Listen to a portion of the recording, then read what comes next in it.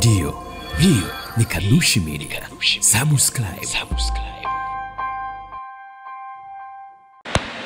Mimi binafsi na wenzangu katika harakati tulimwona mama yetu Mama Mdee kama mlezi wa harakati zetu, kama mtunzi wa imani yetu ya kuitafuta haki katika taifa, na tulimwona kama mama mlezi aliyetuzalia viongozi walio bora sana kwa wakati wote. Kwa hiyo kwa niaba yangu binafsi na familia yangu naungana sana na familia nzima ya kina Mdee, waombolezaji wenzangu, kumshukuru sana Mungu kwa sababu ya maisha ya mama yetu huyu. Ndugu zangu waombolezaji, mama safari yake ameimaliza,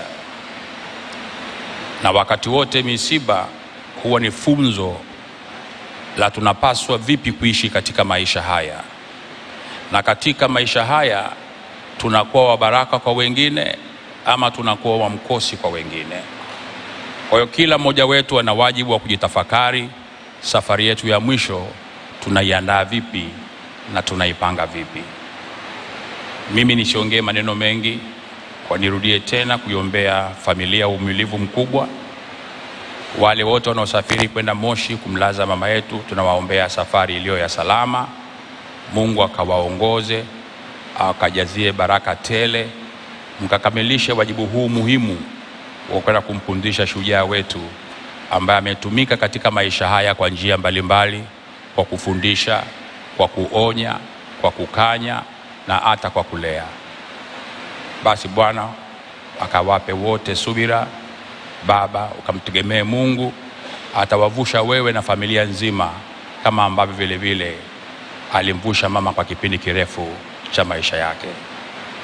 Mwisho, natambua kazi kubwa sana mlioifanya familia ya kupigania uhai wa mama yetu. Tunatambua namna ambavyo familia kwa njia mbalimbali, kila iliyowezekana chini ya mbingu, mlijaribu kuokoa maisha ya mama, lakini Mwenyezi Mungu amempenda zaidi, akamchukua mja wake kwa wakati wake. Ndiyo, hiyo ni Kalushi Media. Subscribe. Subscribe.